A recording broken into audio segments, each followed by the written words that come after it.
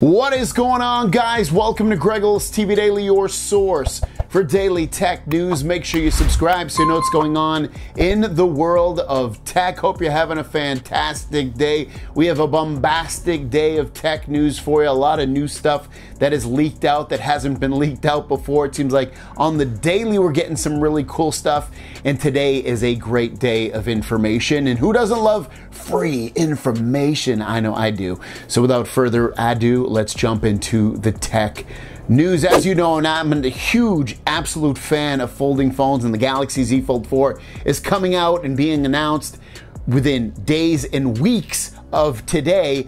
And what about a foldable tablet? It seems like that is the next frontier for Samsung, and it seems like it's coming out sooner than you think. This information is coming over from the Naver blog, and they've leaked stuff in the past, but ultimately what they go on to say is that it is a Gal- the, the, the Galaxy Tab S9 model will be announced simultaneously with the Z Tab Fold model, and it is said that uh, the source of the domestic hinge suppliers has I don't know if they've leaked it out, but ultimately they said it said that Samsung is concentrating its company-wide capabilities to launch the Fold model, which is completely different from the existing Fold and Flip at an early stage. They want to accelerate the popularization of Fold 4 and Flip 4 models, completely different form on the market at the time of the Galaxy Tab S9 uh, announcement. Come next year, probably uh, early next year, the Z Fold uh, Z Fold tablet and Galaxy Tab S9 tablets should launch simultaneously at the same time. This is cool. I don't know how great the specs and the features and all that stuff will be on the foldable tablet. Is a foldable tablet even needed? It's interesting. We'll see how this goes and rolls out, no pun intended, and we'll end up hearing definitely if this is going to come out in the next handful of months, we will hear more and more about this in terms of what it looks like, the specs, the features, and everything else. This next story is about the Galaxy Buds 2 Pro, which will launch in a couple of days. And this is an update to them. So they're gonna have 10 millimeter drivers, which will help with better bass. And then they've also got 5.3 millimeter tweeters, which are gonna help with the highs. Active noise cancellation gives you negative 33 decibel reduction of outside noise. So I think the, the big takeaway is that when you put the active noise cancellation, it's to deaden the sounds of the outdoors by up to 33 decibels. Now, I don't know what the number is with some other ones, like I don't know what the Pixel Buds, how, how many decibels it lowers the outside noise from, but this sounds pretty good to me because I know when I edit a video, if I drop it down 33 decibels, it's almost inaudible to hear something. I can still hear something if I turn it up loud enough, but then at that point it's not really 33 decibels. So this is pretty impressive. We'll see where this goes and how it sounds. And we only have to wait a few more weeks before these bad boys are in our ears. And to add on to that, if you want to charge your Galaxy Buds 2 Pro for five minutes, that gives you 55 minutes of listening time. Here's another cool stat. If you're getting the Galaxy Z Flip 4, they can last up to four hours more than the Z Flip 3 thanks to a 12% bigger battery and better hardware software optimization. It also introduces a new slim hinge, which is what made possible having a bigger battery for all you folks that are getting, getting the Z Flip 4. You can look forward to better battery life, and I think that was probably one of its weak points with the Z Flip 3 was kind of low battery life this is going to improve a lot of that. Next up is about the under display camera of the Galaxy Z Fold 4. On the Z Fold 3, you could hold it up and in certain situations on that big screen, you could actually see it.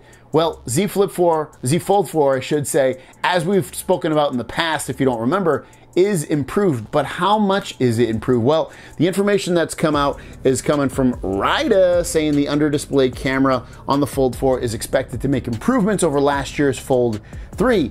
Now, he does have a graphic, which I'm not going to show, and that graphic shows that it's going from 94 pixels per inch on the Z Fold 3 to uh, 132 pixels per inch on the Z Fold 4. So when you open up that large screen on the Z Fold 4, that under display camera is going to have even more pixels, meaning it's going to be even harder to see. Now, at certain angles, I would still expect you to probably be able to see it, but it's going to be a lot less.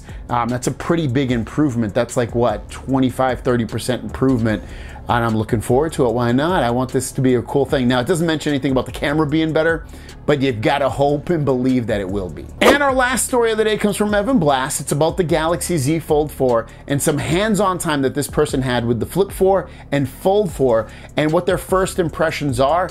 And if you're kind of on the fence or you're, you know, not even on the fence, you're just excited about getting this, I think this will add a little bit more fuel to that fire. And here we go. It's a it's a, a little message he got saying I had hands-on with the Fold 4 and Flip 4 today, and they look and feel like a great upgrade this year. I use the Fold 3 as my daily driver, and so I was really interested to see how the difference between the two felt. And I gotta say, it's quite a big difference. The hinge and front screen, especially, and I think that's some of the uh, you know the front screen's obviously an issue with with with people like oh my god this thing is just too skinny. It's too hard to type on. I want it to be wider. I want it to be fatter. And obviously the fold 4 does that.